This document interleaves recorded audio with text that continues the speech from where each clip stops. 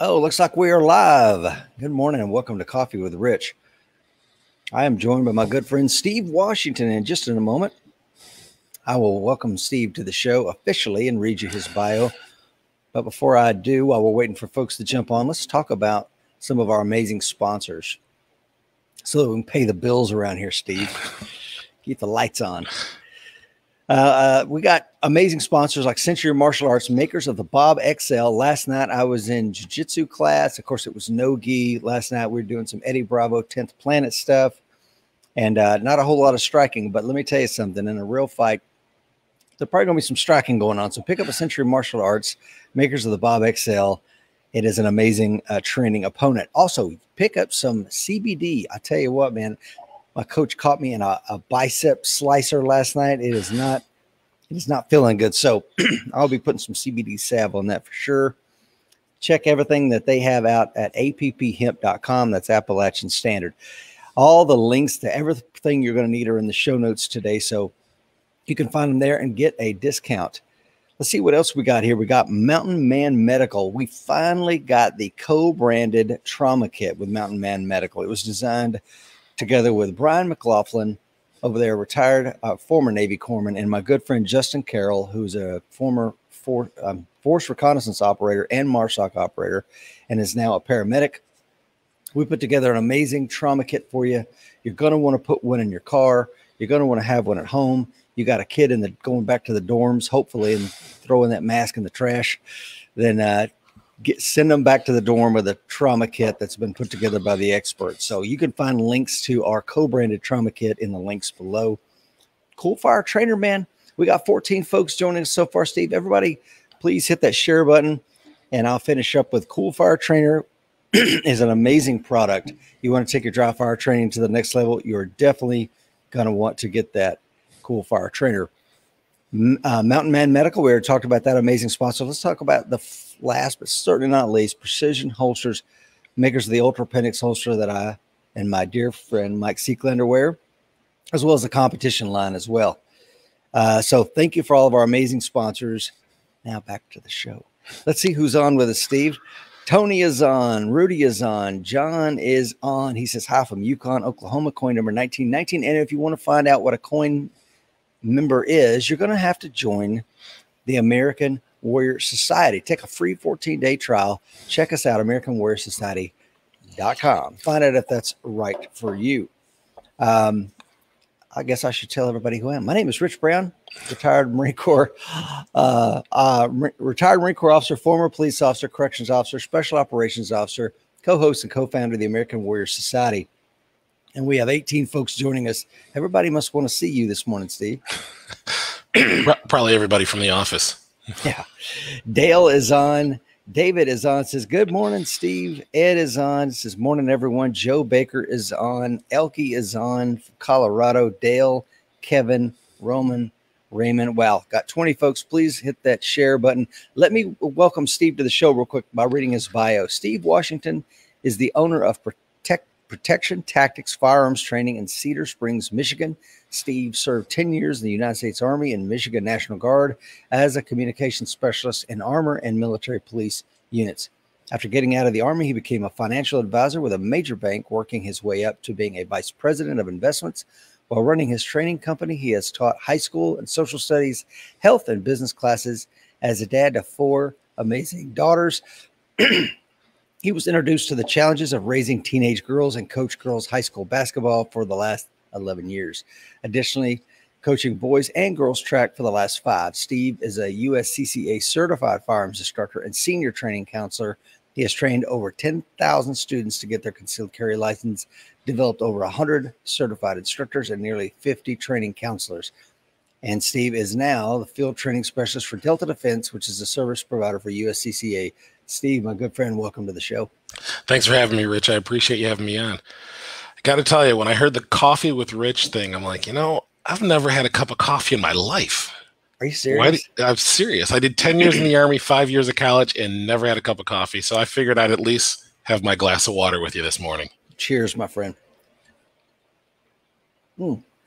Steve, it's always good to spend time with you, man. A little background on Steve. He came to uh, our firearms instructor development course. I think it was the first open enrollment one we ran last year in Oklahoma.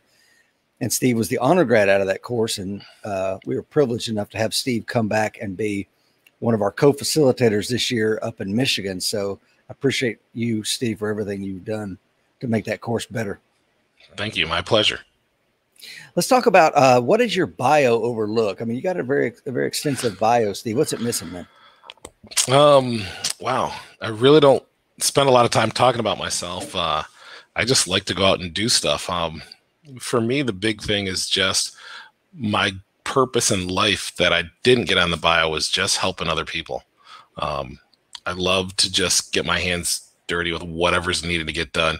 Um, with my experience from my mili- uh, my military days, with my time as a financial planner, um, working at high schools, just working with kids, my number one goal is to just help people get better at whatever it is that they strive at. Um, I'm almost done with my master's in training and development. So I just have a doggone thesis to write. And if I can write that thesis, that'll be done. But um, for the most part, I'm just out having fun, just doing what I can to be better. Um, it's, I'm just simple, man. Well, you're far from simple, my friend, but your passion is something that I've always uh, enjoyed about you. It it just exudes from you. And I tell you, I, will tell the audience a quick story. Me and Steve went to a sandwich shop up there in Michigan a couple weeks ago, and one of the the uh, people working come running behind the counter and jumped in your arms, and I'm like, "What in the heck is going on here?" And you're like, "Yeah, I coached her and and basketball." I'm like, "But that's the impression you leave with people." and uh, you could see how excited she was to see you, man. And I, I love that. I, I want to, I want to be that guy. You know what I mean? You know, it's it's just a function of connecting with people, and anytime you are a leader or you are the face of something, you have to connect with your people. And if you get that connection, you know, there's no telling what lengths that you would go to. I was as as this happened, I was sharing with you. I'm like, in the last few years, she had um, family members pass away. She had both her feet reconstructed. She had her Achilles tendons on both feet um, surgically cut to fix her feet. And this young lady, her name's Jade. Jade was just full of heart. And she would, she didn't tell me all of this stuff had happened to her.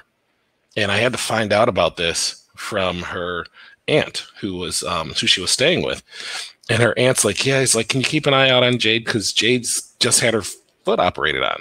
I'm like, well, how long ago? She's like, well, she had it reconstructed in August, and this is in October, and she's trying to get back in condition for basketball. And anybody knows if you've had an Achilles reconstructed, you don't come back from that and get to 100% in a year. And she just got, she had just done that, and the doctor had cleared her. She's like, okay, you can start running lightly on it and here she is in conditioning trying to keep up with everybody trying to do this and, it, and i just told myself if she can be that committed to basketball as a freshman girl in high school how committed can we be when other stuff is going on here it is she's had her life flipped upside down had her feet reconstructed had all this stuff and she's showing up in practice going what can i do next coach how can i get better how can i get better and every day after practice is like, how can I get better, coach? What should I be working on? And I'm like, today you just need to ice your feet. Yeah. And she's like, that's it, coach. I'm like, um, yeah, that's fine for now. I love that man, and uh, that that girl, that that kind of heart. I wish you know, I wish we had more Americans like that. Oh, absolutely. Benny is joining us. Margie is on. Tony says, I'm not sure how big that dude is, but that picture of him holding a basketball looked to me like he was holding a tennis ball. Yeah. You're a pretty tall fella. How tall yeah. are you, Steve? Um, Rich, I am six six and I weigh about 320 pounds. Hopefully, um, we've got a biggest loser competition going on in the office now, so hopefully I can get that down to around my uh, my my traditional fighting weight of about 250. But you know, when you pounding 6,000 calories a day to maintain weight in the army, and suddenly the army says, "Nah, you're done," and you're going, uh, "I still like that 6,000 calories." It's the uh, the running, the sitting, the pushing, the doing the push-ups, all that stuff disappeared, but the calories didn't. Yeah. Speaking of the army, man, how did you get in the army, Steve? Um, well, this is a funny story because when I was in high school, I always wanted to go in the army, and I can't believe I'm actually going to say this publicly, Rich, but I originally tried to get in the Marines. Oh, um, but I was a, I was a high school basketball player, um, pretty big guy overall, and I looked at the Army and I looked at the Marines, and when I met with the Army first, and I had ASVAB scores that were just off the charts. Um, they told me I could do whatever I wanted to. I think at the time I went in the, sc- the score maxed out at 150, and I had like 147 or 148 somewhere in there. Wow. And the recruiter literally took my folder and saw my ASVAB score and said, Wow, I didn't know the test went this high. Close the folder, set it aside, and you're going to college. You're probably not even thinking of the military. Thanks a lot. Have a great day. That's when I was 17 and I was a senior in high school. Might have been a junior, but I just, at that point in time, was like, oh, I guess I shouldn't do the military. I guess I should just go to college. Turned around, went to college, got out of college, a few twists and turns in life. And here I am, 25 years old going, you know what? My life is not where I want it to be right now. I should probably look at the military again. I've always wanted to do it. Went to the Marines. Marines were like, nope, too big, too heavy, way too much. Worked my tail off, tried to lose weight, couldn't get that last little bit done. Got depressed, put on another 50 pounds, and said, you know what, let me look at all the other branches. Looked at the other branches, and the Army was like, yeah, we'll still take you. So I went into the Army when I was 26 years old weighing 310 pounds and went to basic. And while I was at basic in those nine weeks, I lost 68 pounds and got down to about 200. and I think my my weight at that was 232, which still was overweight. But based on all the calculations, they figure I was somewhere around 10% body fat. So I'm like, wow. didn't have a lot to lose at that point in time. But it's hard to believe that, yeah, it's, the recruiter saying no to me 10 years earlier. I still wound up doing what I wanted to do back then. And it just, life just circled me back around and put me back in the military. Well, I'm, uh, I'm glad you did, man. Uh, that's something that I, I, never discouraged anybody. You know, of course, I was on recruiting duty for quite some time, and you know, I uh, that's what they wanted to do. I don't care what their ASVAB score said you know, because that desire is not going to go away. Absolutely. Paul says, Good morning, everyone. Elkie says, Don't try coffee. You'll just get addicted to it. He's right. T- Dr. TC Fuller says, Good morning, gents from South Carolina. Coin number 1620. William says, Good morning, Rich. Will Parker, our good friend, is on out there Will. in Montana. Uh, Jamie says, Go Army. Jeff Brown says, Marine Corps recruiters are mean. Maybe. Uh, Will Parker says, Brother from another mother. Big Absolutely. Steve. Absolutely, Will.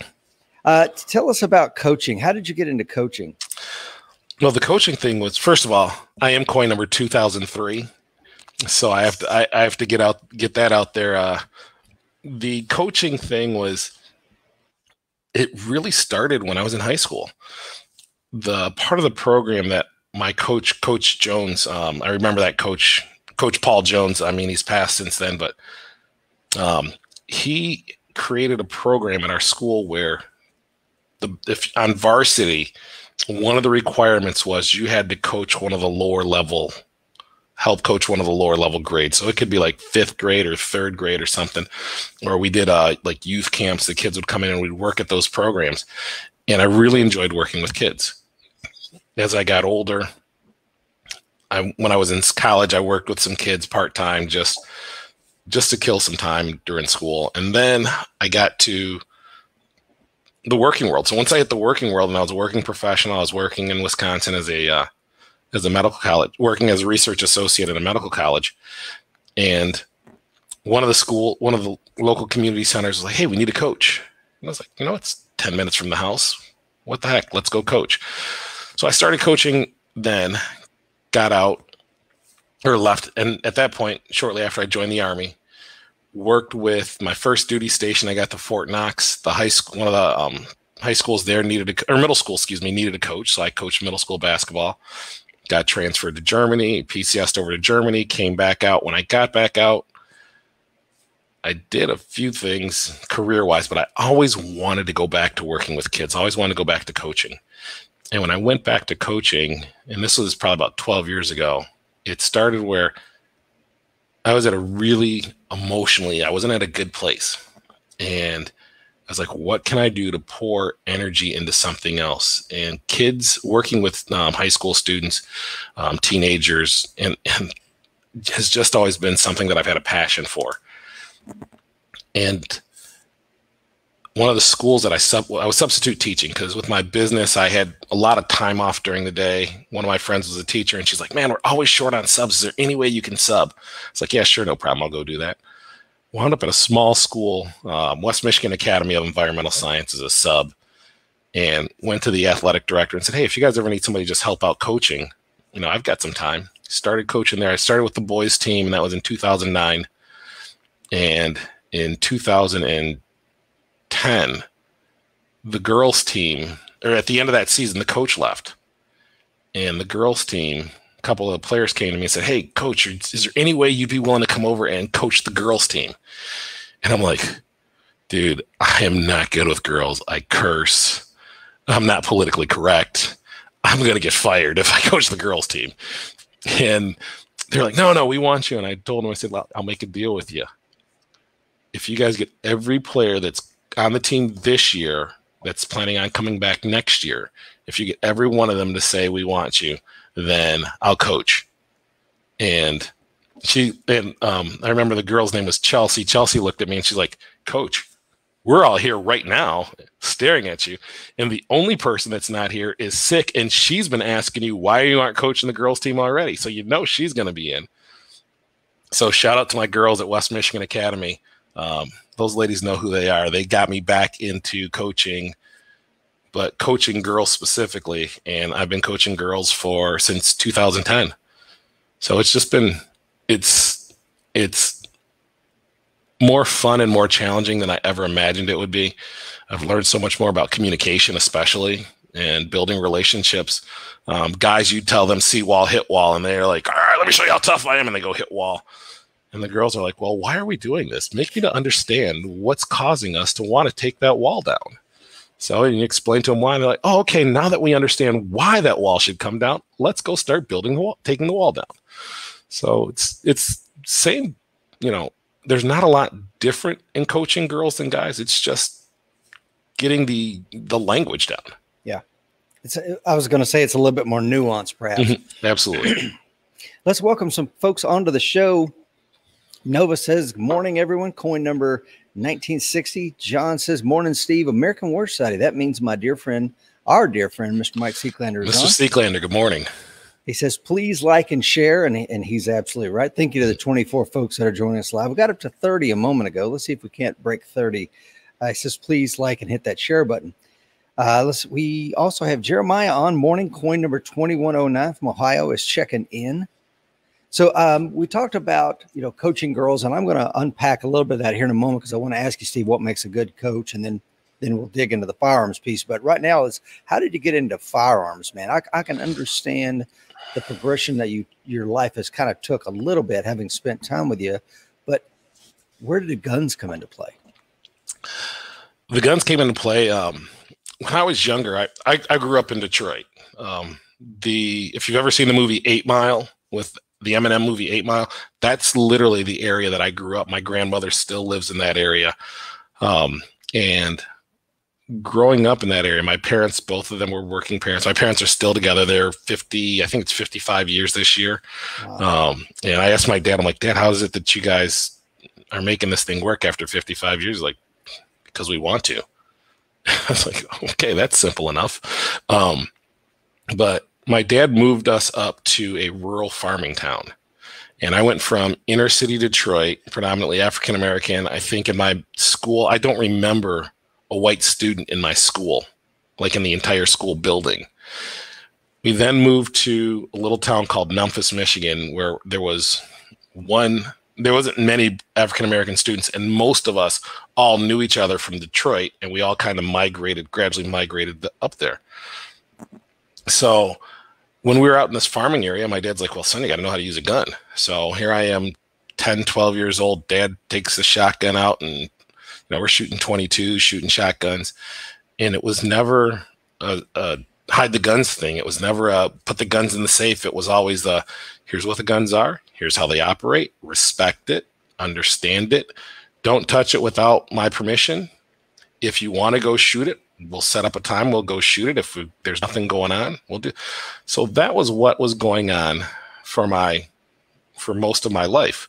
Then fast forward, I'm you know helping um, kids out at the gun club. I'm fast forward. I'm you know in the military. I get out and I have friends that are trying to teach me how to. Sh- they're like, "Hey, can you teach us how to shoot?" I'm like, "Yeah, sure, no problem." So it gradually worked that way until one day I was getting my concealed pistol license.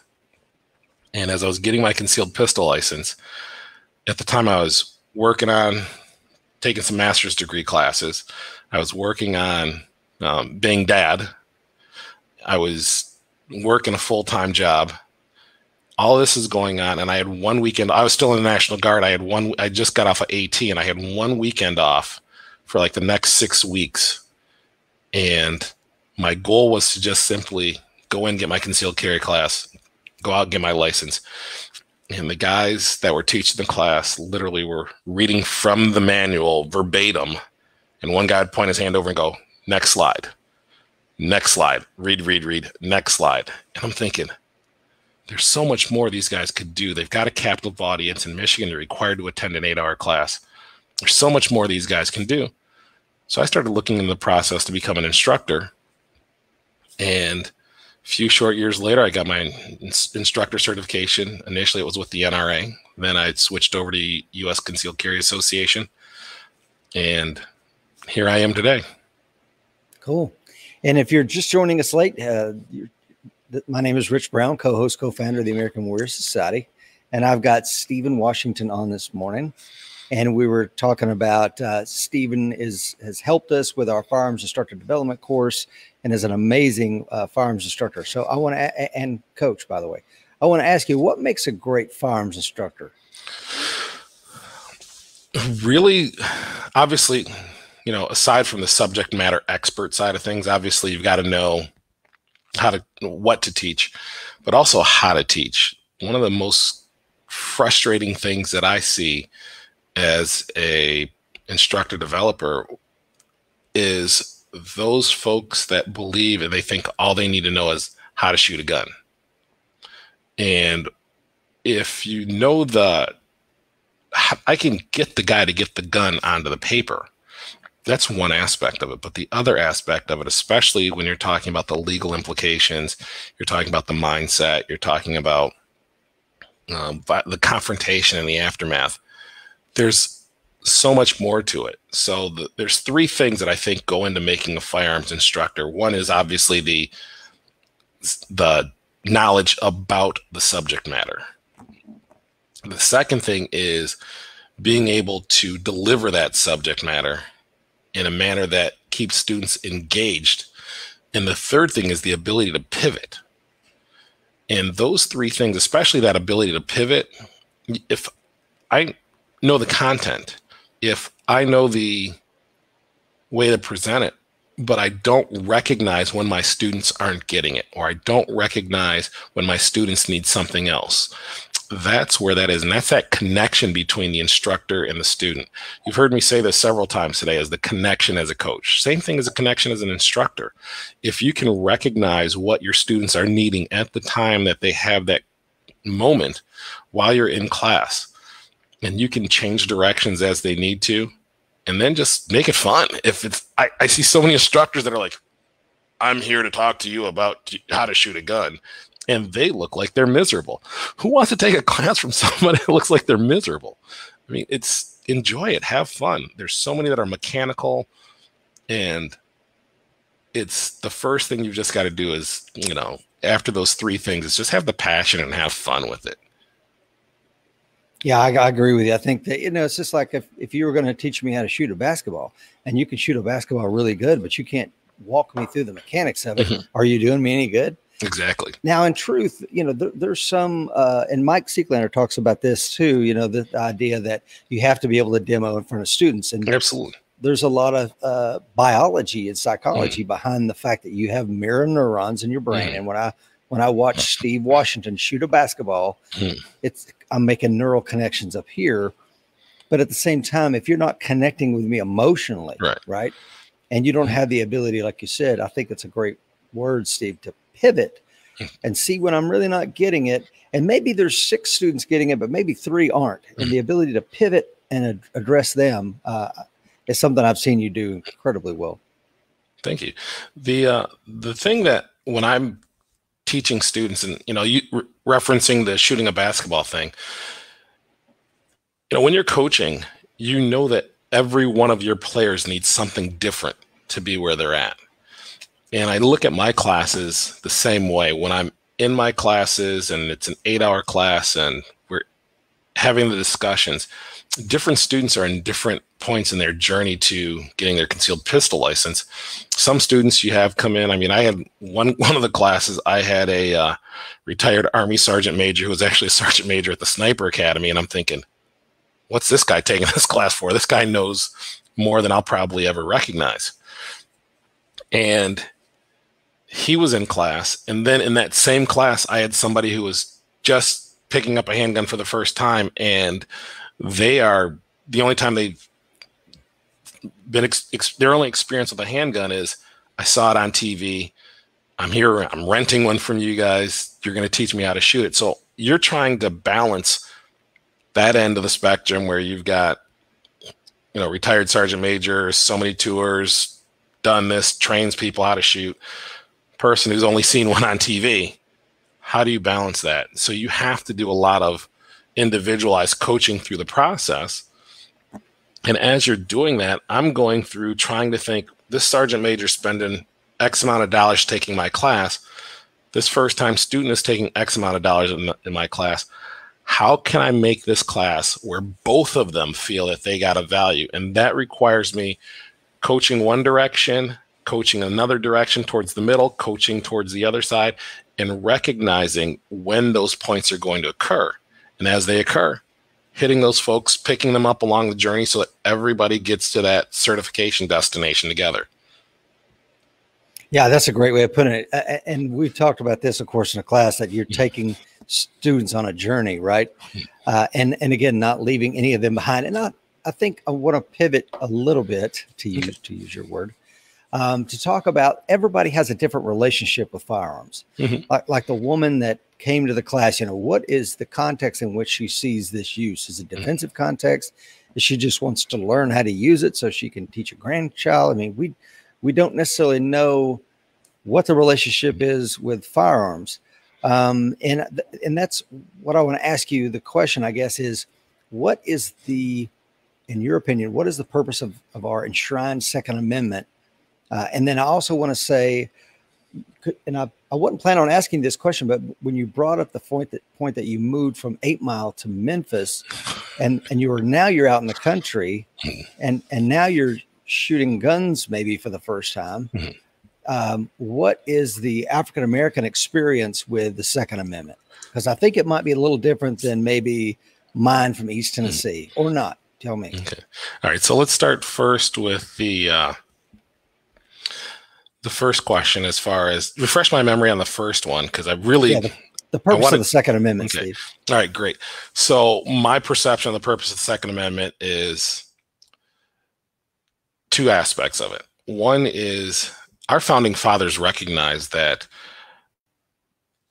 had it not been for the average citizen owning firearms, had England been the only ones with firearms, our country wouldn't be where we're at today. We'd probably still be subjects of England. And our founding fathers recognized that the average person owning firearms for one way of life, self defense, but more significantly, if our government, for some reason, loses touch with reality, like England did, and decides to tax us without representing us, I mean, when you look at the Declaration of Independence, there are I think it was 26 different reasons our founding are that they declared this is why we are not we are declaring our independence. We've told you what our problems are. We've told you what our concerns are. Our government wasn't listening anymore. England wasn't listening to us anymore. And they're like, you know what? It's time for us to take a, take responsibility for our own selves and set up our own country. If you're not going to listen to us, we're going to form our own country. And we look at this, and one of the questions in my social studies class that I posed was, and it's one of the first questions I ask in my US history classes if our founding fathers acted the way that they did today, would they be considered founding fathers or would they be considered terrorists? Terrorists. Yeah. So, so when we look at that, it's like I, I pose that question, but I think it, like I said, it was twofold. One for way of life issues, hunting, survival, but the other one was to keep our government in check. I mean, I think there's other countries out there that in the past have said, you know what, hey, you know, what if we were to look at invading America and taking over America? And the perception of America is that everybody's got 25 AR-15s in the closet, handguns coming out of, you know, falling through the doors so while a country may want to come and take us over, and they're like, yeah, we've got these weapons, but they've got, you know, 300 million people in the country and 295 million of them are armed. The other 5 million are under the age of two. You know, there's just that perception that we've got guns all over the place. So that second question on what was it like and the relationship of the African American, what was it like moving from eight, eight mile to Memphis. And Memphis, to give people a perspective on it, um, at the time I moved there, there wasn't a traffic light in town. There was wow. just a flashing red light, red light one direction, yellow light the other direction in the middle of downtown. And everybody just, you know, everybody knows everybody. It's that small a town. I think the my high or my my school system K through 12 had roughly a thousand students in it. So that puts things kind of in perspective. My graduating class was 47. Wow. So, what it was like as I grew up there, going from Detroit to, to Memphis, two words come to mind. First one is culture shock, or that actually those are the two words, culture and shock. It was a unique perspective. I uh, my first day there, um, a kid called me a name. It was a racial slur, and I punched him in the mouth and knocked his teeth out. And that kid later on, we're friends now. He later on grew up to be a Marine. At our five year or 10 year anniversary, he's talking to me and he mentioned something about, it and he's like, dude, I was so wrong doing that to you guys, doing that to you. And I'm like, hey, no problem. You know, I understand we do things that we don't agree with. Now, as far as the African American community relationship with firearms, that is a that's a wide question. Um, yeah. Well, specifically, Steve, let me let me okay. pigeonhole you a little bit, and okay. then you can t- you can expound okay. and unpack it. Is the relationship to the Second Amendment? Okay. Uh, because I, I, don't know that you know I, I don't know that. Well, I'll, anyway, I'll let you take it, and then we'll go from there. All right. Okay. So the relationship to the Second Amendment, one is most African Americans believe that while we have a right to um, bear arms, and while people should be able to do that, there's kind of twofold. One is, you know, well, the internal violence in the African American community towards one another is one separate aspect, but let's just talk about from the legal aspect of it. Is if you look at this country's history, a lot of the gun control laws were put in place during the 1800s to keep African Americans from owning firearms because they thought, especially in some of the southern states, the impression was if we give these folks guns after we've been oppressing them for hundreds of years, how are they going to react to it? How are they going to respond to us? And it was often done where if someone, if a African American needed a gun, then they might get sold a gun, but it wasn't the best gun, even if they could afford it. Or the gun that they got, even though it was not a quality, it was a functional firearm, the price that they would charge would be higher than what they would charge um, another white citizen that were to own the firearm. So there's that balancing act as we look at history. How is it that what's going on in the black community today related to violence towards one another? And how does that relate to gun violence and gun ownership? And as I mentioned, part of this is yes, most African Americans, if you talk to them, feel that yes, we do as American citizens have a right to own firearms. But many of them just aren't comfortable with it because of more so a function of lack of familiarity. There's not been a lot of your typical education in the African American community about firearms that you see, which that you see going on with uh, the NRA coming into the African American community or different organizations coming into the community and promoting gun ownership, promoting um, responsible um, training on that. And that's one of my missions that I personally am trying to do, trying to uh, impact. Um, you know, kind of just to kind of shift gears, the U.S. Concealed Carry Association is partnering with several organizations, for example, the, National, the NAGA, National African American Gun, Gun Owners Association, to increase the education, the educational efforts in the African American community around firearms ownership. And as a result of that, we're starting to see more training, more trainers, more facilities, more ownership gun ownership opportunities occurring in the African American community, and it's not being shunned. It's actually being promoted and being emphasized so that we can take responsibility for educating ourselves and educating the community about gun ownership. So there's been a significant shift in the last, probably the last, I'd have to say the last decade. It's really when it started to take an effort and move forward.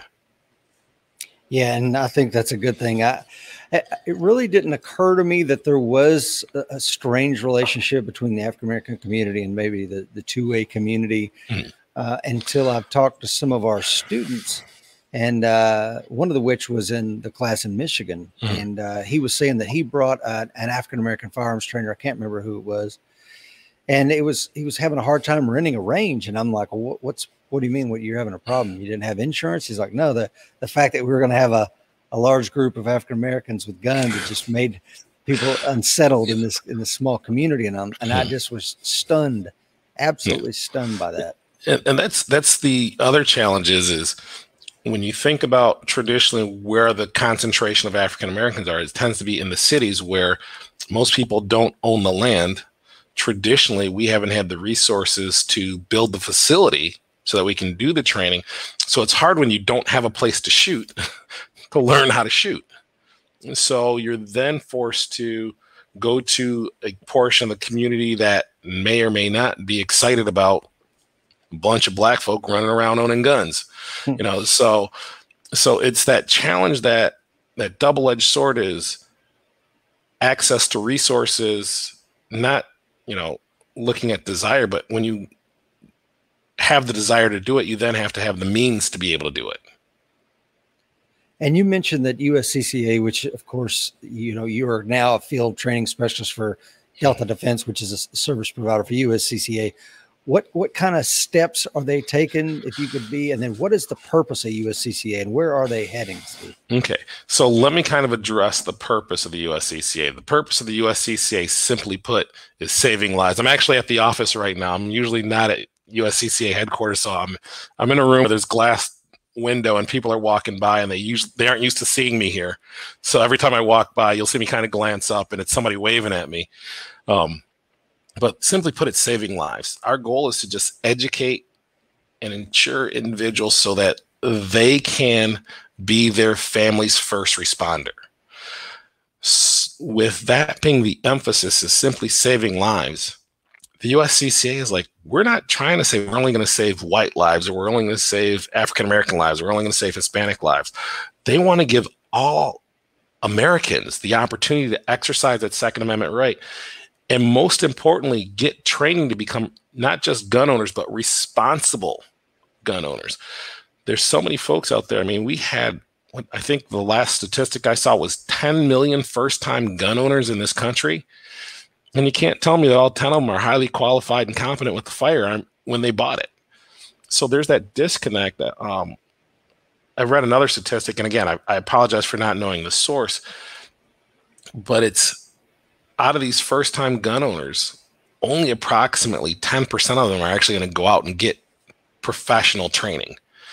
And when you think about that disconnect, you've got this large pile of individuals that don't know how to handle a firearm efficiently and effectively. And they're being asked to be their own first responder because the reason they got it was not because it was cool, but they got it because they had a genuine fear most often. Um, and now they're saying, hey, you're going to have to potentially use this to protect yourself, but we're not going to get trained. And part of that is the instructor community's fault because some of our instructors are, you know, I look at, you know, you have some folks that come from the military and they're thinking, you know, the knife hand, you are going to do how to shoot and you're going to do, you know, I mean, if you've been military, you know where I'm coming from. But we kind of, as instructors, have to take the edge off and make it so that we're receptive to everyone, first time gun owners, especially because those first time gun owners eventually become experienced gun owners, which become highly skilled gun owners, which potentially is also our next generation of instructors.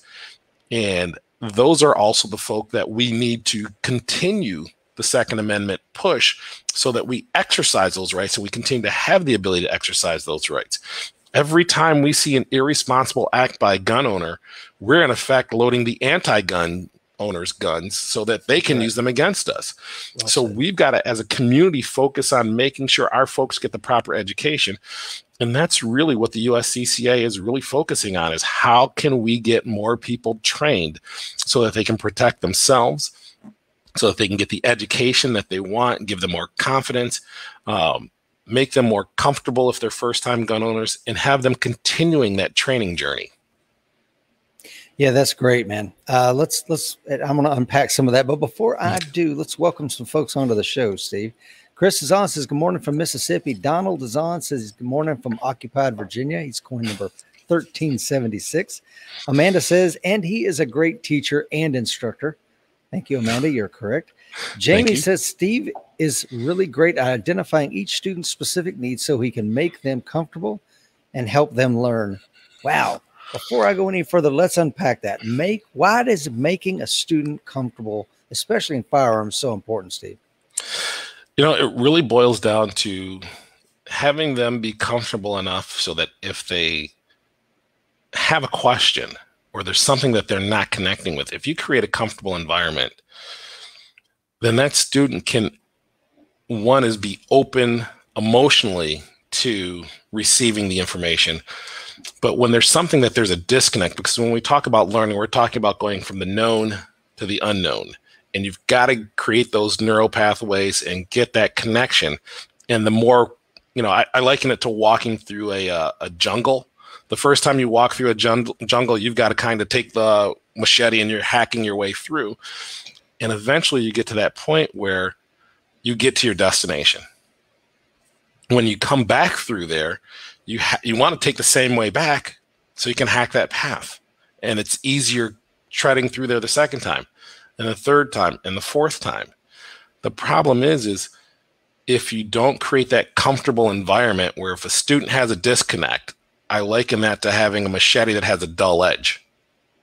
They're not going to be able to get through it as easily. They're not going to understand it.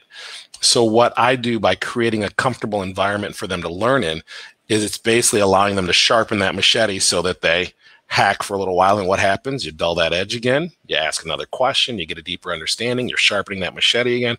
You can keep going through there. And when students are comfortable with quote unquote the sharpening the machete process or asking the question process, and you welcome them, you say, hey, if you need to have your iron sharpened, let's sharpen your iron. If you need to have something clarified, ask it. Let's get that clarified.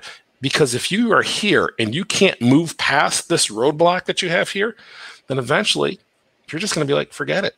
Why am I doing this? Let me ask you this question is because I know, you know, you've help facilitate our FIDC firearms instructor course. Is is comfort somewhat synonymous with making your students feel safe, or am I reading too much into that? I would agree with you. Um, there's the physical safety aspect of it. If you've got something, you're, I mean, you're handling a firearm. If you got a first time user, and they see you walk up and you pull this gun out and you start waving it around like it's just an inanimate object, which, you know, we know that if the gun has no bullets in it, we know that if the gun is the slide is locked open, you know, it's safe to handle. But who feels comfortable having a gun pointed at them? I don't. I've owned a gun store. I've been teaching people to shoot for years. Every time a gun gets pointed at me, even if I know it's unloaded, I'm like, whoa, whoa, hang on, let's slow this down. So you've one got to create that physical safety aspect of it. But if you don't have that emotional safety aspect of it, if you don't have that, you know, psychologically I can come to grips with what's happening, learning slows, if not stops, because we've all seen somebody do something stupid in just a class or say something that um, says something. I remember I was in a class with a professor and an African American said something, an African American student said something, and the professor actually used the N word in class. What? Shut the entire class down. Every, you know, people got up, they walked out. Other people stayed there not knowing what to do. The whole class basically froze. And this was a huge lecture hall. And I remember that. And even when that professor tried to take control back of the class, there was such a learning block by those people that remained. Base all of his credibility was just completely undercut. And you're thinking, I don't want to learn from this guy. You know, I know I was thinking that. I dropped the class. And I literally went to the university and said, You're going to give me a refund for this class, or you're going to get me into another class that I can continue taking, even though I'm well past the refund deadline. And the university was like, yeah, we got to look into this. And they removed the professor from the class and put another put another professor in that class. So again, it becomes a function of you've got to have that environment created where people feel emotional safety and they feel like they will be protected and respected and that will facilitate greater learning and deeper understanding well, i think physical and emotional safety i mean you know i, I think they go hand in hand mm-hmm. Uh, gerald says how did you get involved with uscca okay okay in 2012 the uscca launched their certified or their their curriculum. And when they launched their curriculum in 2012 for their uh, concealed carry home defense fundamentals curriculum, I was an instructor for another organization and I saw this curriculum and I like I just got to get my hands on it, take a look at it. If I like it, I'll do it. If I don't like it, I won't do it. So I just ordered it. It came through. It was multimedia based. It had videos in it. It had those PowerPoint slides very detailed, very descriptive. I'm like, wow, this is literally the best curriculum that I've seen.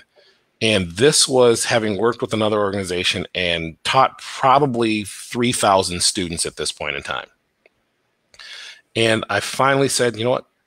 I'm going to go ahead and do this. So I started out with them in as an affiliate instructor, which means you weren't you hadn't take a certified instructor course. They just gave you the materials and you taught it however you wanted to teach it. They later eliminated that program. So anyone who was utilizing our curriculum had to be a certified instructor. I then became a certified instructor, I want to say in 2014, I believe it was. Um, my, my time kind of blurs together 2013, 2014, somewhere in there. Um, I attended the certified instructor class. They liked the way that I presented myself, the way that I conducted myself, and asked if I'd be interested in being a training counselor. I became a training counselor in I want to say 2015, and in 2015, that meant I became be, had the ability to train people to become instructors. Since then, I've been working with them on a number of projects, a number of programs, and I joke with them. I just got hired in in July of this year, and I I joke around here is it's been an eight year job interview, so it's the longest job interview I've ever had. Um, talk about doing the job for a long time before I actually got the job that I have now. So it's been fun. Um, I really love it. I'm glad to be a part of the team. And the greatest thing or the funnest thing that I love about being at Delta Defense is the culture. The culture is amazing. Um, the only thing I can explain it, it's almost, you know, I joke, I, it, I won't say it's cult like, but it's very, you know, the camaraderie that you have with your military friend. I mean, if anybody who's been in the military knows there's times that you have days where you're like, I don't want to be here. I don't want to do this. But overall, you remember the relationships, you recognize the goals, all of those things. And it's just, I have fun. Every time I come to headquarters, I have fun. It's just tremendous connections. Well, you know, you and I have talked about this, Steve. I, I, I think it's awesome that you're in the position you are because the impact you can have uh, covering the vast swath of territory that you're hmm. responsible for is going to be incredible, man. Tim Tim says so many great thoughts in there. Uh, Tony says apparently we need F-15s and nukes now in regard to our second amendment. yeah, I, I, agree with you, man. I've got my F-15 on order, so uh, I'm doing an online uh, uh pilot training for my F-15. Fantastic. John says, as a USCCA and CCNHD instructor, it's great to uh, start students on their journey to be a responsible armed citizen. Well said. Yeah, absolutely. William William says, I'm still surprised at this day and age people still feel that way. I'm not, I'm not sure. Gerald says, Do you think over the last few years, politics has tried to stir up one race against another? Said, sorry, off topic. I don't think it's off topic. I can address that. Okay, please. um, I think it is not necessarily a politics thing. I think it is more so a you know, misunderstanding or a difference of perspective. Um, Rich, we've had this conversation before, and I have this conversation with everyone I know. For example, the school that I was teaching social studies in until I took this position was a predominantly white school. I was the only African American in the school building, in the school district, um, from a staff perspective. Um, and I'm in West Michigan, which is predominantly Republican territory. So here I am, a kid that grew up in inner city Detroit, moved to a farming community. Now, you know, done time in the military, been uh, vice president of investments at a major bank. So I've got all of these things that are just coming together. And I decide suddenly, hey, let's go ahead and teach social studies. Let's talk about government. Let's talk about current event issues. Let's talk about all of these things. And the thing that I've always stressed is understanding. There's a reason why people do what they do. And a lot of times we just assume it's ignorance. We assume that it's, um, you know, they don't get it or they don't understand. And a lot of times in this soundbite society that we have, the phrase that I use with my students is you guys are expecting oven baked results on a microwave timeline. Mm-hmm. And it just doesn't happen. And when people don't get the reaction that they want, they start trying to think of some other reason. But what we have not seen in general is a movement or a push towards understanding. So as I'm working in this community and as I'm teaching these kids, and it's like, you know, I have my values and my values are, you know, I'll I'll put my political views out there. I'm not Democrat. I'm not Republican. I want a government that respects me. Period. I vote for who I think is the best candidate, regardless of party. I look at the issues. The issues I align with, I vote for that guy. The issues I don't align with, I don't vote for that guy. Period. It's that simple. Some people just aren't willing to do the research. They assume if I vote for this guy, he represents this party, these are his views, these are his values. I'm not voting for that party or I am voting for this party.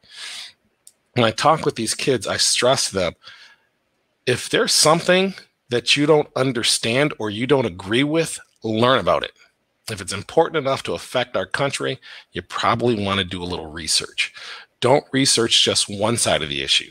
If all your news you're getting is from CNN, CNN, CNN, CNN, and then you're not looking at Fox News, you're not looking at MSNBC, you're not looking at Breitbart, you're not looking at all of everybody that's out there, and then forming an opinion, and then talking with people that might be experiencing that lifestyle or experiencing that concern, then you're only getting a portion of the understanding. If you only have one side of the issue, of course your views are going to be skewed to that one side of the issue. You know, we hear so many people talk about, well, why is there so much African American versus African American violence? Why isn't the black community taking care of this? And I mean, a lot of this stems from back when the 1860s, right when slavery ended. If I had an issue, if as a black man I had an issue with somebody that was white, if I took it to law enforcement, nine times out of 10, I shouldn't say nine times, more like 99 times out of 100, they by default sided with the white guy if I had an issue with an African American, a lot of the law enforcement were like, it's not our community. You guys figure it out for yourselves. So if for generation upon generation upon generation, African Americans can't trust law enforcement, what continuously happens? Anytime law enforcement gets involved, what do we say as a as a as a group? We don't want to deal with you guys. You guys are all wrong. You guys are this. If you know, and again, this is a perspective that I have from talking with, you know, one doing research, um, going through college, understanding this, and people like, well, you know, college—they're all liberals at college. Well, you know what? They may be liberal, but they do know a little bit about researching stuff. And I learned how to research things, learned how to find information, and learned how to look at multiple sources.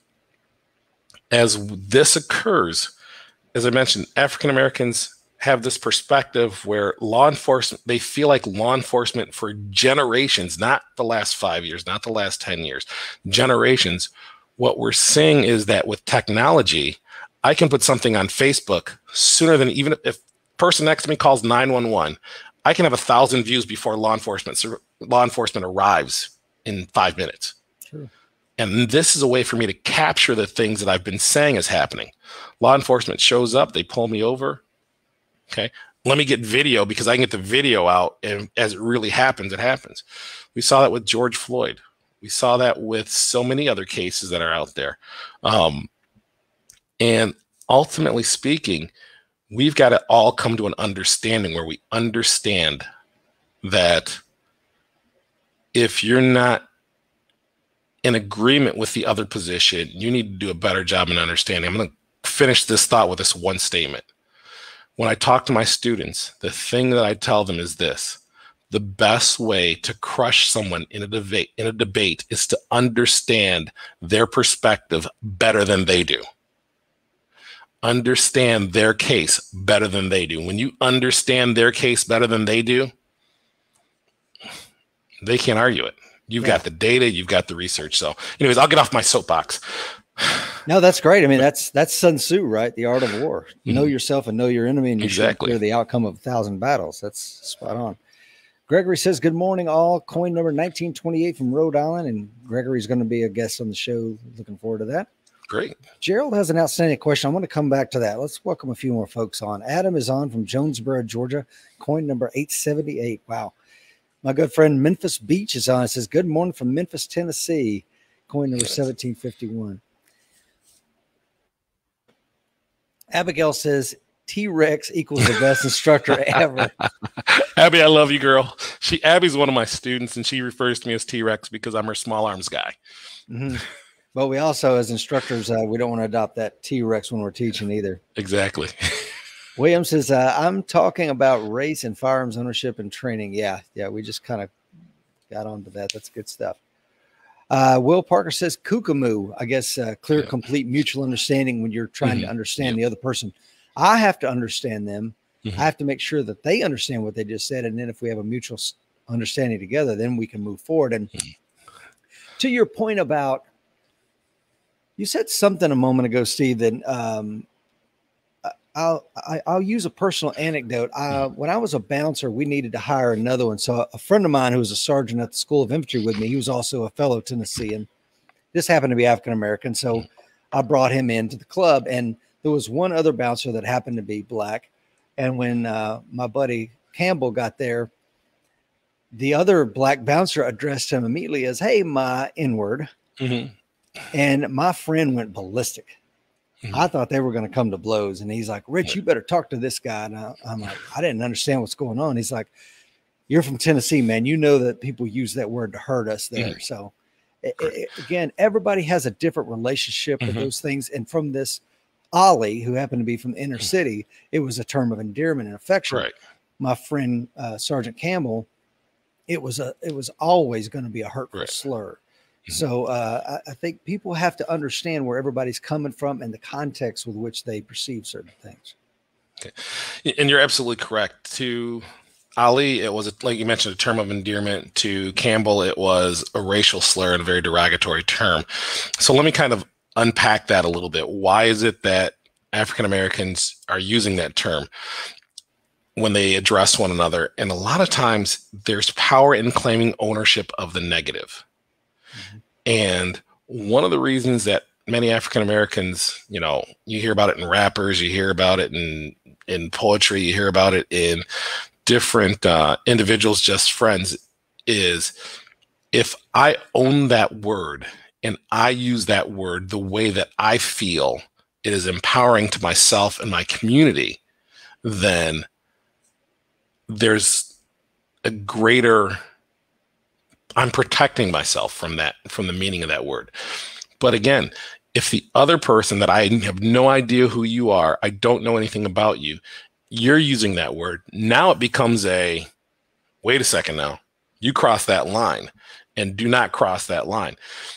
And it's simply a function of you know, I've heard I've I've got friends that are gay and they've called each other in effect the F word in their community. Um, I've got you know friends that are from different ethnic groups, and all of them at some level have taken some power back of a negative term or a negative word and use that to empower themselves. But again, that is one of those things where you know it's kind of like a brother, you know, a family. I can call my brother something that nobody else can, but if you call them that, I'm up in your face. That's right. You know, military. I can dog Marines all day, every day. And they're like, oh, Army, right? And I'm like, yeah. But if somebody else dogged a Marine that wasn't a Marine, I'd get in their face. If they weren't military, I'd get in their face. No, no, no. You're not. I can call a Marine a crayon eater because they're going to call me any number of other yeah. terms. But they, it's it's that brotherhood that you have, and that's where that taking ownership of the N word comes from is I can reestablish what that term means to me and my community. But since you're not a member of my community, no, you're not there yet. We as a society are not there yet. Yeah, like I, have told you before, you know, I come from a long line of uh, mm-hmm. illiterate uh, folks from the hills of East Tennessee, and and one of the words that that is somewhat hurtful, you know, is hillbilly, especially mm-hmm. when it's used in derogatory. Like right. my my dad said he went up north and people heard his accent and behind his back would be saying dirty hillbilly and my mm. dad didn't didn't take mm. well to that. So but you know amongst our, our each other maybe hillbilly is a term of endearment. right. Uh let's see here. We have some comments. Memphis uh, says gotta jump. Fantastic show. Thanks rich and steve. Tc fuller dr tc fuller says we need more moral conversation Absolutely. in the public space the idea Absolutely. that I will look for fallacy in what I espouse and the truth in what my opponents say before I get fired up is one that we should encourage. Might make for more civil disagreement rather than violence. Wow, well said. Oh wow, that's I mean that's that's deep. Looking for the fallacy in my belief system before I look for the truth in other people's. That's that's deep. Yeah. TC is a very learned man. He, yeah, he, he does have I've, a doctorate. Yeah, I'll just say I've seen TC speak with you on several occasions. I've I've followed him um, and some other things, and I mean, I TC man, keep doing what you're doing. Yeah, no kidding. Tony says, wondering if Mr. Washington is familiar with Dustin Salomon and building shooters, and does he incorporate their neuroscience learning into his program? I don't. I, am not familiar with Dustin Salomon, but my background is I have my degree is in health. I was planning on being a doctor or a uh, athletic trainer, so I really did a lot of work studying anatomy, physiology. Um, you know, plus my time related to just the science behind new learning, especially when it comes to the physical aspect of it as a as a coach and as doing performance work. So a lot of those things I'm sure there's probably a lot of similarities in the science just in general because the science is the science. Um, but uh, my background has been mostly in physical and performance science and then um, mental health psychology. So because of that, I incorporate a lot of those ideals into the training that I use. Yeah, and just just for the listener that may not know, I, actually it's ironic that he brings it up because I'm having Dustin Salomon on the show uh, coming up this coming Monday morning. So if, if you want to hear about the science of building shooters, uh, check us out Monday, folks. Uh, we'll have a great show for you, August the 2nd, 0730 Central Standard Time. But in that note, you know, you were, uh, I can tell by the way that, you know, having, you know, worked with you for quite a while now, you were a salesman before mm. you became a teacher and a coach. And I think, uh, if I'm fair to say, I don't know, we've never talked about it. Do you you appear to use a lot of your salesmanship in your instructing and teaching? Am I wrong in saying that? You're absolutely right. Um, but I'll actually flip that around and say, as a salesman, I was more of an educator. Gotcha. The yep. you know the the what's the old adage? The uh, first profession or the oldest profession.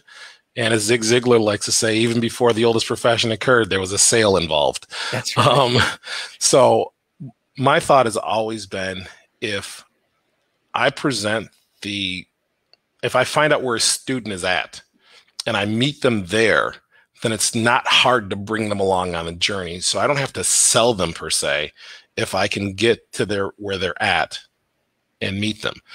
If I'm trying to sell them and I'm selling and I'm selling and I'm presenting this and I'm presenting this and just throwing all this stuff at them, then eventually they're just going to be like, you know, they're going to shut down. So my goal has always been no matter what I've done from financial planning, from teaching, is find out where the student is at. Pick them up on the journey and let's all get to the destination together.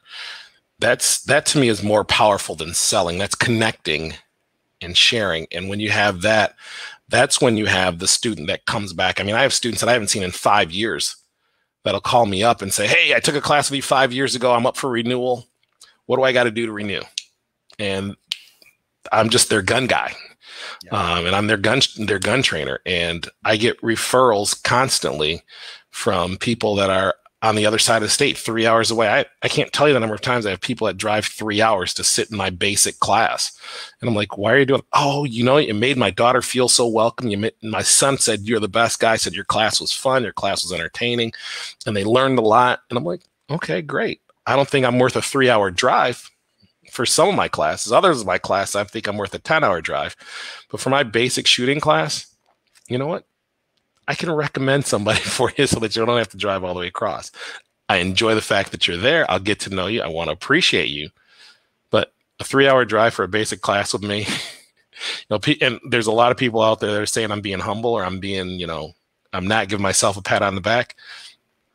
I know when I need to give myself a pat on the back. I'm comfortable with giving myself a pat on the back, but you just have to recognize where's the value. I would rather a student save the time drive to somebody um, and when I drive to when they drive somebody closer with them, maybe they can establish a relationship with a good instructor that's over there, and they can continue to connect, and they can spend less on transporting back and forth to see me, and more time on getting more training right. with a quality instructor there. Yeah, and you know, I, I, love the way you answer that question because I felt the same way as a recruiter, man. Mm-hmm. I'm not selling some kids so much as I'm listening to them mm-hmm. and I'm understanding what they're trying to accomplish in life and where they want to go. And maybe the Marine Corps is the right vehicle to help get them there. Uh, and I, I, like that approach. And we talked about this, you know, too, like the the uh, Jordan Belfort, Wolf of Wall Street, sell me this pin, really has more to do with do they have a need? You know what mm. is the listening for the language of needs of your student what are they what are they trying to accomplish? What is the context in which they're trying to get there? Mm. so if you take that educator approach instead of like i'm a really sharp salesman. I've got mm. the gift of gab. I'm spitting platinum everywhere i go. Well you're probably not listening to your students and listening to the language and needs. That's my opinion. I agree with you 100% yeah uh, Greg says, Good morning from Texas. He is coin number 2060. He says, Late to the show, but really enjoying it. Uh, TC Fuller says, I will keep it on if you do, sir. Perfect. Johnny says, Your confidence, enthusiasm, and intelligence sells itself. My brother Jeff says, I am doing really good with the mute button this morning. I am really trying. I haven't screwed it up yet, but it's still early. But uh, Steve, I know we've only got a few minutes left, so I want to really use your time well. I want to ask you, brother, uh, having seen the lawlessness of 2020 and then seeing what happened at the Capitol on January the 6th, where do you perceive all this lawlessness is going, my friend? Wow. You're the first person actually asking that as far as where it's going. Um, I know you got a crystal ball, so tell us where it's oh, going. As I look into your eyes, um, what uh, my frustration. I'll share my frustration with it and what I think needs to happen um, rather than where it's going. First of all, where it's going is if we don't get a handle on the divisiveness that's occurring in this country, it's going to rip it apart, period. End of statement. As far as my frustration with it is, again, this boils back to lack of understanding on both sides. Democrats, Republicans, black, white, tall, short, you know, fat, skinny, whatever you want to call it, when we're not understanding one another's perspective, what each other's needs are, what each other's concerns are, then as a country, we can't move forward. We've got a history, you know. It, uh, all right, I'm going to talk about the CRT, the uh, race theory concept. As a, as a teacher, I'll address that, as, especially as a history social studies teacher. CRT is critical race yeah. theory, right? Yeah, critical race theory. I couldn't I couldn't think of the first word. So, mm-hmm. um, critical race theory in school. Here's what I want rather than critical race theory, or rather than what we currently have. I want a comprehensive history program, one that includes the negative things that has happened in this country and the positive things that happen in this country. Am I in favor of the statues by anyone that has done anything that's been racist taken down? You know, at one point in time, we felt there was some value in what was being done, but I would also like the other side of that perspective told. When you try to whitewash and just eliminate theories or eliminate history, you know, we've all knows what happened when th- those that eliminate or those that don't understand history are destined or doomed to repeat it. I think what we need to do is just have a more comprehensive approach to it. If we take a more comprehensive look at this and recognize this was the negative things that we've done in this country, this is now the positive things that we have to say about this country. As we look at both of them, I think we can, those things that we want to keep, we can enhance. Those things that we want to not have highlighted, we can address those things and figure out how to move on. Um, at Delta Defense, we have a system called IDS Identify, Discuss, Solve. We have, as a society, we have very few things that we identify the problem, but we don't want to discuss or we don't want to solve this in a mature and responsible manner. We want to identify it and whine and complain and moan about it. You know, I taught in my in my classroom. I told my students, I'm like, you cannot complain about something unless you're willing to hear the bad that goes with it. And as they hear the bad that goes with it, it's like, okay, now that we've figured out what it is, let's not spend too much time. Now that we have an understanding, let's figure out how we move forward. You know, a students failing a class, you don't just go, hey, you're stupid and move on. What do you do? Hey, let's figure out where there's some deficiencies. Is it something, is it the way that I'm teaching?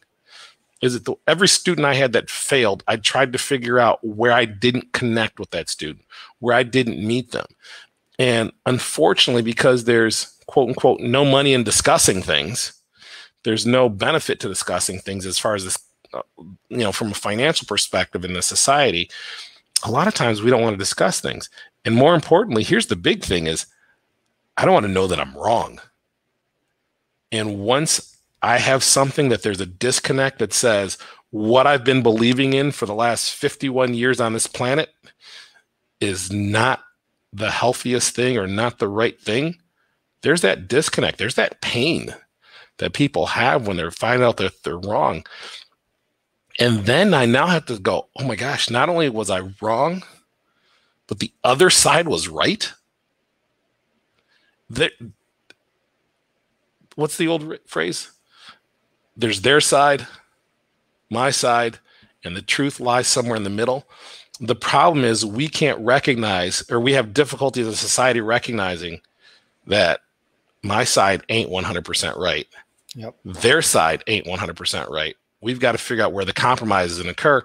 And somehow or another, we lost the ability to compromise as a country. Until we get that back, and understand yes there are some things that need to be done on my side that i have to give on. There's some things that the other side has to give on. You know we've heard the both sides of congress you know obama was trying to put judges in and what what happened? Oh we don't want we don't want obama's judges to be in because they're too liberal. What's happening? You know what happened when trump was in? Everything got pushed through all these folks got in. Now what's happening at biden's in? Oh we can't have biden come in there. We can't have him put his stuff in place because it's too liberal. You know if Trump had gotten in and the Democrats were in place right now, we would see that still that divisiveness.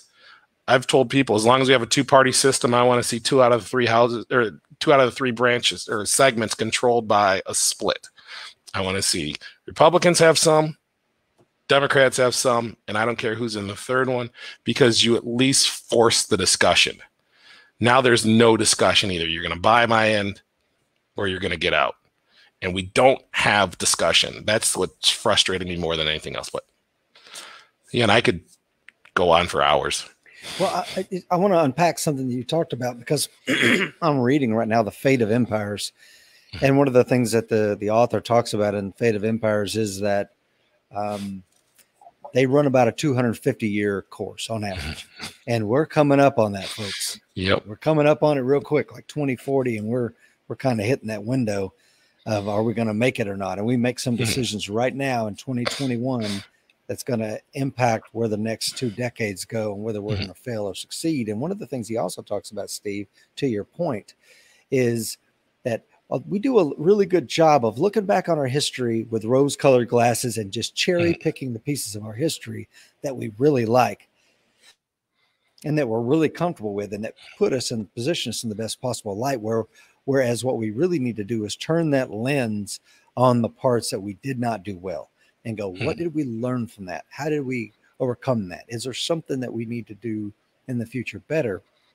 And I think that's where a lot of historians really don't they don't do a good job of that. And we don't do a good job. I, have always said if I was a, a, president, I would have a cabinet member who is uh, secretary of history. And you're going to look at the the seriously the depth and breadth that makes not sense. just of American history, but world history, and tell us where there's historical precedent for what we're doing and what we should be learning from this event. Because if not, we're just we're doomed to repeat it. And I think that from the CRT perspective, you know, I was one of the only white kids in an all-black school in Memphis, Tennessee. And I, I got the reverse thing. And Shelby mm. County school system back in 1980 ish come up with this thing like um, there was a workbook. I don't know what they called it, but it was along the lines of critical race theory. And I knew that the friends that I'd finally begin to make in the African American community in my school suddenly looked at me different when our homework consisted of your evil white slave master has just beat you and draw a picture of how you feel. And all of a sudden, all the eyes would look at me, look and I'm like, and I'm like, I didn't, you know. But anyway, I don't know that blaming uh, you know an eight year old child of any race for mm. the the injustices that that they you know mem- people of the same skin color did. I don't know if that solved anything, but that's my two cents. You know, and and and, I agree with you. Um, I I haven't, and I'll I'll be honest, I haven't looked specifically in the critical critical race theory as in depth as I'd like to. I've only um, taken an overview of it and done, you know, I've kind of stuck my foot in the pool. I haven't jumped in to really get a deep understanding of it. But my stance is simply we've got to understand both sides. Agree. And we've got to pull the politics out of things and we've got to on some level you're you're not going to be able to eliminate the emotion out of it. But we've got to pull some of the emotions out of this to get an understanding of what's happening. And those once we get to that point where okay what we've got left is the emotional stuff then we've got to understand is that emotion justified i mean think about it if you had your family's history was you know for you know i look like we were able to trace both sides of my family tree all the way back to where they got off the boat in africa or where they got off the boat in the states mm-hmm. and as a result of that when you think about it um you know all the stuff that my family had done as slaves, building this country, making this country as strong as it had become, people refer to it in its prime. And then they go to slavery ends. They're now sharecropping. They're trying to do this and they're being taken advantage of. Why? Can't read, yep. can't understand math. You want to vote, you can't do this. And then if you look at our history and you see where those minority communities that started to succeed, what would happen? You know, we Tulsa watch, riots. Watch watch Rosewood. exactly. I mean, Rosewood, absolutely. When you look at all of those situations, like where the success occurred, there was that devastating something devastating would would occur. The you know, one race would turn against the other, and it would just destroy a community. And now you're thinking, what would have happened had that been allowed to continue? And then both of those societies had have, would have integrated and become intertwined with one another for working towards one another's success versus uh you've got yours but I didn't get mine so if I don't get mine I'm going to come take it from you. You know, there's that perspective and if we could just simply like I said take a look at what the problem is. And once you've identified the problem, you can then identify the cause. If you can remove as much emotion out of the issue as possible and then try and get an understanding of the emotion that's left, why that emotion occurs. Is it justified? And if it's not justified in your mind, is it justified in the other person's mind? Because just because you don't agree with it on the emotional aspect of it doesn't mean it's not real to me. You know, when people say, well, there's not as much racism as there used to be, and you talk to many African Americans, they're like, that's garbage. racism is just different. And that's the thing is, is what one person's perception of an issue might be and another person's perception of an of, of an issue might be you know got to come to that kookamoo yeah and i think that uh, it's interesting because i i really uh, you know being raised in the south and uh, you know we've already talked about some of that but also i when i had my dna test that i found out that i'm part nigerian Welcome to the family. Exactly right. so, as a light-skinned, blue-eyed white guy, to find out that uh, you know I, you can trace back, and in 1740, I had a grandmother who was a slave. Mm-hmm. Which, and, and, if you take that one generation previous to that, mm-hmm. and I'm looking at hmm. two, a set of grandparents who were both uh, probably right off a slave ship, mm-hmm. and it it helps put in perspective like the genes that I carry in me, the lives that that helped get to who I am. I, I try to help that color how I see things to, to maybe misuse a metaphor, but I think it's important for us as Americans to, to take a look at that. You know, we're going to have to really look at it or, or we're going to fail. You know, mm. we're just going to continue to let these emotions control us until we really put a rational set of eyes to it. Right. You know, as, as a history teacher, I look at, like, as you mentioned a few moments ago, that we see empires start to fold between two and 400 years is typically the number that most of them mm-hmm. have failed or they contract. If you look at England, what happened with England? England used to be all over the world. Now it's happened? They've contracted. They've let go of some of their um, outlying territories. Um, some people still say they fall under the Commonwealth, for example, Canada and Australia. But let's be honest, Canada and Australia are their own independent countries. They just feel that connection. It's more of more of an ally than a than royal subjects. Um, when you get to that 250 year mark and you really start to see the breakdown, you know, we're starting to see the symptoms now. You know, if we don't start addressing the symptoms, if we don't start addressing the cause, these symptoms are going to continue to get worse. They're going to continue to get worse. They're going to manifest. And at some point in time, if you think things are crazy now, if we as a society, and the thing is, is and this is where we have to be willing to reach out versus to contract. Because a lot of times when people are scared, what do they want to do? Pull everything in and pull things into themselves and keep themselves and their families and their friends and that community close to them. What we have to do is, even though we're making sure we're protecting our families, we still have to reach out to understand. So I'm going to encourage everybody that's on right now to find someone of a different ethnicity than you, different belief system than you, different value structure than what you what you perceive, and reach out, take them out for coffee, Absolutely. take them out for dinner, and have that conversation, and ask for a deeper understanding. Ask for, hey, you know what? I really want to know what is it about your community that makes you feel threatened by me what is it about your community that gives you an understanding? And tell them, ask them to say, hey, look, I'm not trying to accuse anybody. I just want to have a deeper understanding. And I think if we just all make that effort for that deeper understanding, that's going to address a lot of the issues because sometimes the biggest issue is I'm just not being heard. And if I'm not being heard, I know you don't want to understand my perspective. If you at least say, "Hey, look, I understand. I want to understand your perspective. Share with me why this happens. Share with me why this occurs," and broach the subject that says, "Look, I'm prepared to get quote unquote smacked in the face with some values and or with some discussion that I'm not comfortable with. I'm prepared to address those additional topics. And here's the big thing that you have to do. What does Stephen Covey say? Seek first to understand, then to be understood.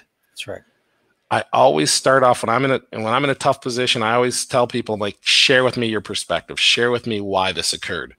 Um, my daughters hate it when I do that. Hey, Dad. Um, hey, Liz. Why why did you do that? I don't know, Dad. Well, I gotta, un- you know, before I'm about to drop the hammer and ground you for the next six months, I gotta understand why you did what you did. And if people understand a lot of times why something occurred, it may make sense. It may truly make sense as to why it occurred. And you're going, okay, if I were in their situation, I would probably feel the exact same way because now you have a deeper understanding of where they're coming from versus the understanding of what you've been doing and where you're and you're putting what your perspective is on that situation versus their perspective on that situation. No, I love it. I absolutely completely agree with you. And I I know we're coming up. We got two minutes hmm. left, Steve. So uh, I want to let's just go and close this out. We're gonna have to mm-hmm. do round two, man, because here's where I want here's what I want people that have tuned in this morning or listen on the podcast to come or on Coffee the Rich YouTube channel. I want you to think about this. I think there's an opportunity here for us in the Second Amendment community, Second Amendment community, the 2A community, to lead this charge, to bring the cultures together, to have these conversations, because we do uh, approach maybe we have something in common. You know, we have guns in common, we have shooting in common. We can start from that commonality and that rapport that probably we share together and have some intelligent, rational, non emotional conversations that bring people together. And I would love to see our community lead that, wouldn't you? Absolutely. Absolutely. It's, it's that common ground that will help lay the foundation. I mean, and if once that foundation is laid, you can branch out from 2A. You can then you know, 2A is kind of a political issue. Would we all agree on that? So you can actually sometimes have those political issues. You can extend it over into sports and then disagree with the fact that, you know, the Milwaukee Bucks, well, they won the championship and my Pistons are still getting crushed. You can extend it into those things. Now you've got more commonality. So now it's easier to broach those harder subjects. That's exactly right. Tony says, "Great show, Semper Fi rich, and be all you can be, Steve, or whatever the army says." I like to be all you can be. That's the era I came in under. I'll stick with that. Yeah, back in the '70s when you came in, right? exactly. hey, where can people find you? Um, the easiest way to get a hold of me is um, you can hit me on my Facebook. Um, it's just Steve Washington. You'll see a picture of my 13 year old playing basketball. I love watching my girls play or do whatever they're doing. I got to give a shout out to my daughter Zoe and um, Danielle, and then my daughter Alyssa, who's in the National Guard. Um, she's at AT right now. She told me she wanted to see this, but she's doing her AT thing. So, um, but that's the easiest way to find me. I I'm in the process of shifting over to USCCA. So I'm probably going to create a Facebook page called Big Steve with USCCA associated with it. So that's going to be the next place, and that should be up sometime this weekend. Um, but I mean, I'm just having fun. I mean, if you if you you'll see me wandering around the uh, the Coffee with Rich page. I usually throw something in there, um, but you know, if you need to reach out to me, the uh, I'm also available with the USCCA, which is steve.washington at uscca.com. Um, I'm having fun, man. This is just about understanding one another. Well, thanks for being you, brother. Uh, thanks My for pleasure. coming on, man. Thanks for uh, inviting uh, me. Yeah, well, please tell me you'll do round two. I will do round two. Perfect. All right, guys, remember the fight is coming. Be ready.